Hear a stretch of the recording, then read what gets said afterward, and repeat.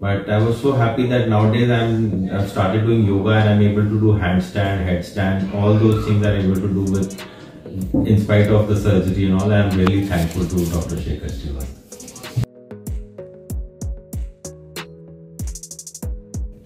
My name is Anand Jalan.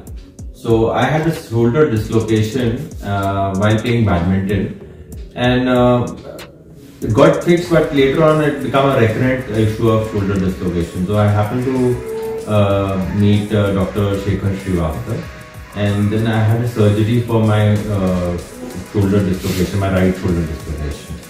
So normally before doing the surgery, before going, getting through the surgery, I kind of uh, met people and they said that you need to do a lot of physio, this and that. But fortunately, after the surgery, I was not made to do any physio or anything for that matter.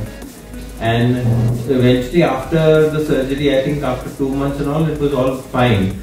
But uh, I always had the thing that there will be some some things that I will not be able to do with my shoulder being dislocated and the uh, uh, the operation being done and all. But I was so happy that nowadays I'm I've started doing yoga and I'm able to do handstand, headstand, all those things that I'm able to do with